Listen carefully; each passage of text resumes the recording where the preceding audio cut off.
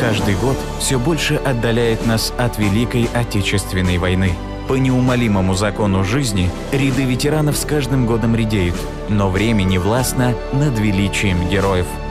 Родные лица Великой Победы. Какими мы их запомним?